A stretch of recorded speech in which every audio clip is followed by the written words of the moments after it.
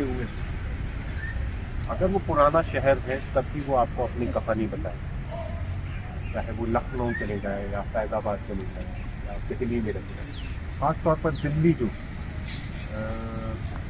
किसी ने लिखा भी है कि दिल दिल की बस्ती भी शहरी दिल्ली अ, जो भी गुजरा उसने लूटा। तो मैं इतना छोटा था कि मैं उनसे कभी ये सवाल कर नहीं पाया कि दिल्ली में, दिल्ली को समझने के लिए दिल टूटना क्यों ज़रूरी तो अक्सर जो है वो इस इलाके के बारे में जो है वो बातें किया करते थे, क्योंकि वो दिल्ली वक्त कोर्ट में एक जमाने पहले रिटायर हो गए वो बताते हैं कि ये जो सड़क है, ये जो अरविंदो मार्ग जिसे आप एक जमाना था कि इसके दोनों तरफ़ इतने सारे मकबरे हुआ करते थे, इतने सारे मकबरे हुआ करते थे कि उसकी कोई हद नहीं। आप नज़रें आप दौड़ाएँ और आपको हर जगह जो है सिर्फ़ मकबरे मकबरे नज़र पर जब से उसके बाद जब सड़क बनाने के लिए जो है ऐलान हुआ, उसने उसके बाद बहुत सारे मकबरों को चेंज कर दिया। अभी जो सड़क है ये यादों की सड़क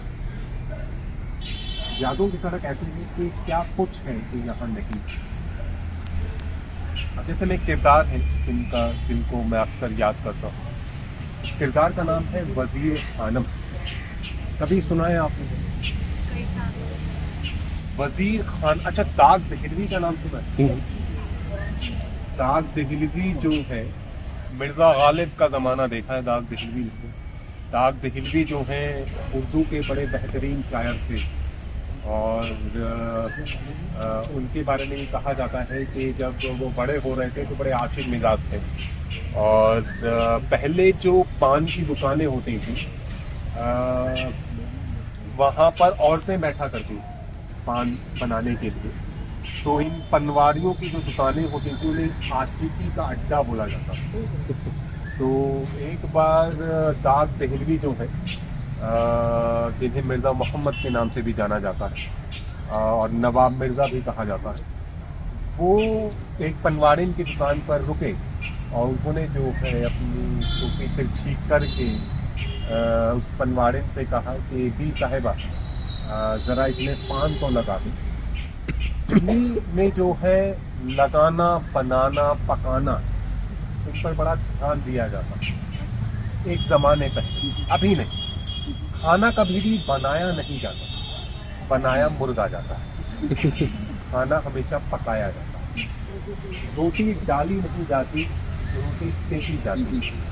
झाड़ू लगाई नहीं जाती, झाड़ू बुखारी जाती। दिल्ली में एक साहब थे, उन्होंने जो है, वो आए थे। पहले होता खाट बुनने वाले होते हमारे मोहल्लों में आते थे। और उन्होंने जो है, वो बाहर से आए थे, उन्होंने जो है, चिल्लाना शुरू किया। खाट बुनवा लो खाट बुनवा लो खाट बनवा लो। तो जो दिल्ली के शरीफ याफ्ता लोग थे तहजीब याफ्ता लोग उन्होंने जो है उस खाट बुना बुनने वाले को पकड़ा उसने कहा कि खाट बुन खाट नहीं बोलते बोलो चारपाई बुनवा तो अ, अब वैसे ही अब तो लगाना और बनाना वाली बात कि जो जो, जो नवाब मिर्ज़ा थे दाग दिखती उन्होंने बी साहिबा से कहा कि जो है जरा मुझे पान आप लगा दें।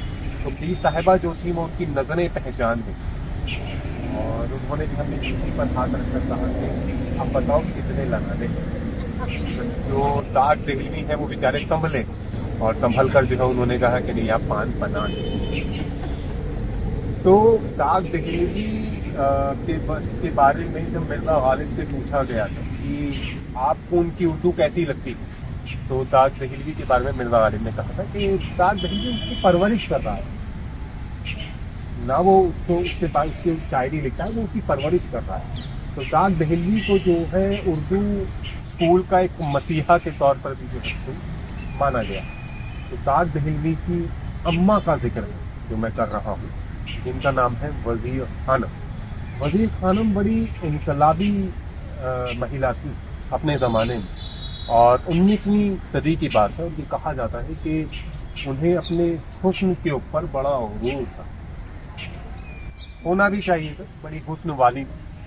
और ये कहा जाता है कि वो अपने जब बाम पर जो उनकी बैलकनी वहाँ खड़ी होती थी तो बहुत सारे लड़के जो हैं वो नीचे खड़े हो जाते थे, सिर्फ़ उनका दीदार पाने के लिए।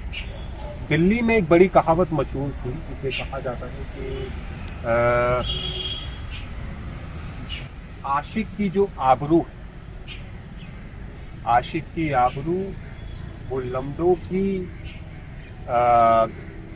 कालियाँ खाना है और तवायफों की जूतियाँ खाना है।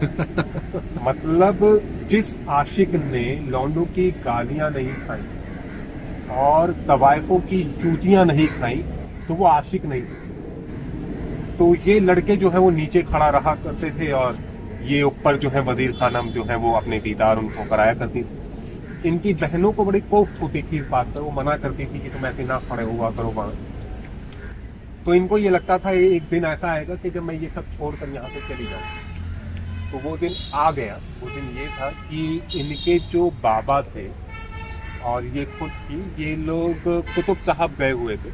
कुतुब साहब दरगाह और जियारत करने के बाद जब ये वापस लौट रहे थे तो यहाँ हौस खास के पास जो है, इनकी जो गाड़ी जो भी बैल गाड़ी रही होगी या घोड़ा गाड़ी रही होगी, उनकी गाड़ी का पहिया निकल गया।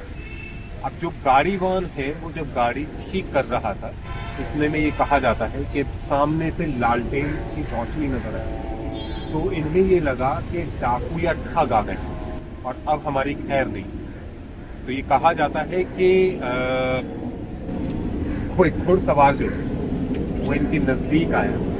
और एक प्यादा जो है, वो लालटेन लेकर चल रहा था। तो जो घोड़े पर जो बैठे हुए थे, उन्होंने अपनी छड़ी से वो जो चिलमन पहले जमाने में क्या होता था कि औरतों की जो बत्तियाँ होती थी, उस पर पर्दा कर दिया करते थे। वो गुंबद नुमा जो है, वो बनी होती थी पीछे। उन्होंने जो है उसे हटाया अपनी छड़ी से तो अंदर जो है बदीर खानम बैठी हुई थी और ये कहा जाता है कि जो ब्रिटिश अफसर थे, उन्होंने जब उन्हें देखा तो आशिक हो और फिर उसके बाद जो है मोहब्बत का एक बाब जो है वो शुरू हुआ। और जब ये मोहब्बत परवाज चढ़ी तो ये जो अंग्रेज़ अफसर थे इनके साथ जो है वज़ीर खानम यहाँ से भागे दिल्ली से और ये लोग दिल्ली दिल्ली से जाकर जयपुर रहने लगे। और वहाँ कुछ वक्त गुजारने के बाद उनके दो बच्चे हुए। और ये कहा जाता है कि वज़ीर खानम साहिबा जो है उनके शौहर का इंतकाल हो गया। बेचारी दिल्ली आई और दिल्ली आने के बाद जो है, आप लोगों ने लोहारू का नाम सुना? लोहारू फिरोजपुर छिड़का रामपुर के जो नवाब है ना, उनका ननिहाल भी है जो लोहारू है। तो वहाँ नवाब रहा करते थे, पहले लोहारू और फिरोजपुर चिरका दो जागीरें। इस तरीके से पटौदी है, पहासू है, उसी तरीके से लोहारू और फिरोजपुर जितना तो वहाँ के नवाब जो है, शमशुद्दीन खान साहब, उन्हें भी वज़ीर खानम से मोहब्बत हो गई। और अभी कहा जाता है उनका निकाह हुआ या नहीं हुआ।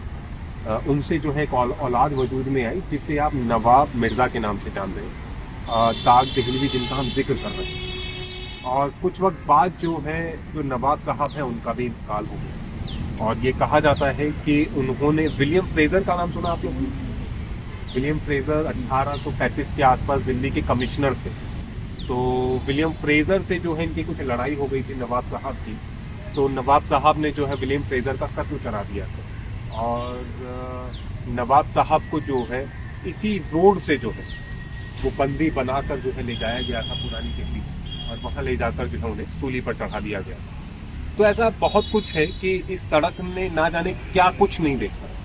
मतलब एक ज़माना होता था कि जब पुरानी दिल्ली वाले वो कुतुब जाया करते थे, लहरौली तो वो इसी सड़क से होकर जाते थे। और अभी हाल ही में एक मेला लगा है।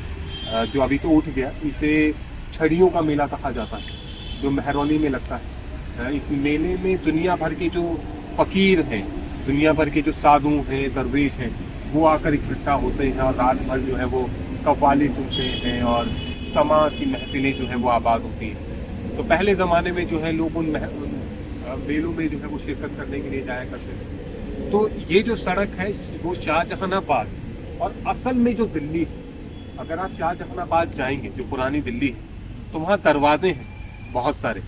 और उन दरवाजों में ये जो नाम है चाहे कश्मीरी दरवाज़ा है, चाहे लाहौर दरवाज़ा ये दरवाजे उन शहरों की तरफ़ उनका रुख है, जहाँ ये काफिले जाया करते थे। पर कभी आपने सोचा कि शाहजहानाबाद में एक दरवाज़ा है, जिसका नाम है दिल्ली दरवाज़ा।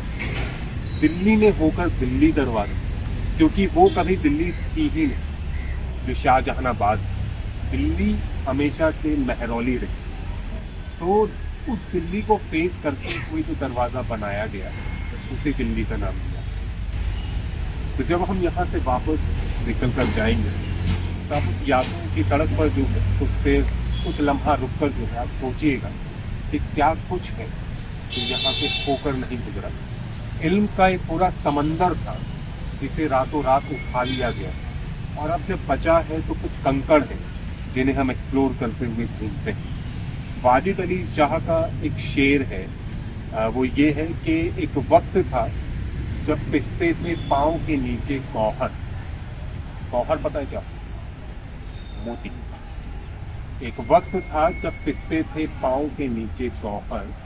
अब यही हम हैं, सर पर धूप है और पाँव के नीचे कंकर तो ये दो चार की इमारतें बची जिन्हें हम एक्सप्लोर करते घूमते रहते हैं। उनमें से एक ये है कुमटी वही के ये अधूरी देखें तो पीछे इसमें एक दीवार है। दीवार में ताक है। हो सकता है कि ये इधर कोई एक इमारत बनी हो, और उस इमारत में जाने का एक रास्ता हो। ज़रूरी नहीं है कि मकबरा नुमा कोई भी इमारत बनी है तो उसमें कोई कब्र थी तो अगर इसको देखा जाए तो ये एक अधूरी दास्तान है। ना जाने उस जमाने में ये कैसी रही होगी।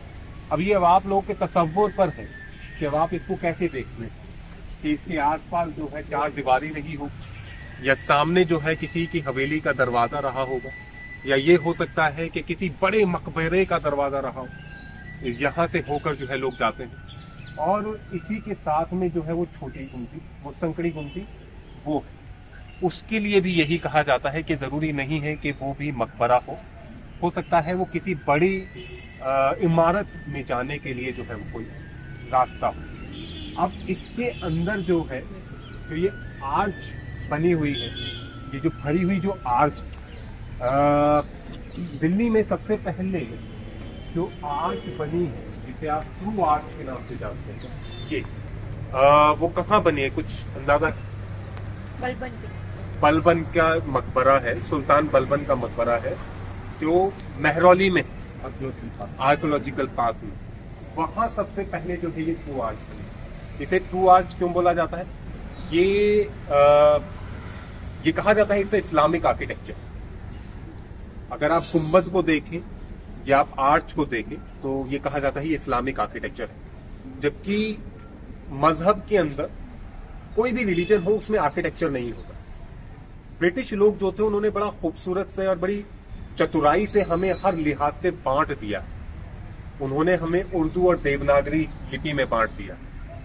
उन्होंने हमें आर्किटेक्चर में बांट कर रख दिया। और उन्होंने वो जो एक दरार डाली थी, वो अब एक बहुत बड़ी खाई सी रूप बन गई। कि बड़े बड़े जो ऑथर हैं, मैं उन्हें देखता हूँ कि वो लिखते हैं इस्लामिक आर्किटेक्चर तो ये जो वास्तुकला है, ये वहाँ के रहने वालों से बनती है। अब चाहे वहाँ कोई भी मज़हब के मानने वाले जब ये ब्रिटिश लोग थे, इन्होंने जब हिंदुस्तान का इतिहास लिखना शुरू किया तो इन्होंने लिखा हिंदू पीरियड इन्होंने लिखा मुस्लिम पीरियड बट इन्होंने अपने आप को कभी क्रिश्चियन पीरियड नहीं लिखा। आइडियली ऐसा होना चाहिए था। इन्होंने अपने आप को हमेशा ब्रिटिश पीरियड लिखा। राजपूत इरा या तुर्क इरा या इंडो पर्शियन इरा और फिर उसके बाद ब्रिटिश इरा तो इन्होंने हर जगह जो है जहाँ जहाँ आर्च होती थी और जहाँ जहाँ गुंबद होता था, उस सबको जो है इस्लामिक आर्किटेक्चर से जोड़ दिया। जबकि इस्लामिक आर्किटेक्चर में कहीं भी इस तरह की आर्चेज और गुंबद का कोई लेना देना नहीं। आज की जो मस्जिदें बनती हैं, उनमें कहीं भी गुंबद नहीं होते। या उनमें मीनारों का ऐसा कोई काम नहीं होता। दिल्ली में पहली बार जो मीनारें बननी शुरू हुई, वो आपकी जामा मस्जिद में बननी शुरू उससे पहले की जो मस्जिदें अगर आप देखें, उनमें कहीं पे भी आपको मीनारें नज़र नहीं आती। ये एक रोमन आर्किटेक्चर है जो गुंबद है। और गुंबद को अगर आप ले लें और उसको ब्रेड की तरह उसमें स्लाइसेस कर दें तो बहुत सारी आर्चेस जो है वो निकल जाती इसी तरीके से इन आर्चेस को बहुत ज़्यादा अगर जोड़ दिया जाए तो एक गुंबद बन जाता है। अब इन्हें ट्रू आर्च क्यों बोला जाता है? कि दोनों तरफ़ से जो है इसमें पत्थर लगाए जाते हैं। और बीच में यहाँ, ये ये की स्टोन और इन पत्थरों के बीच में जो है इसको फंसा दिया जाता है। अगर आप इस बीच वाले पत्थर को हटा दें तो ये पूरी की पूरी आर्च जो है वो गिर जाएगी। उसी तरीके से जो गुंबद है वो जब बनाए जाते थे तो उनके बीच में जो है की स्टोन लगा दिया जाता था। If you pull out that तो पूरा का पूरा गुंबद जो है वो धाराशाही हो जाएगा। आइए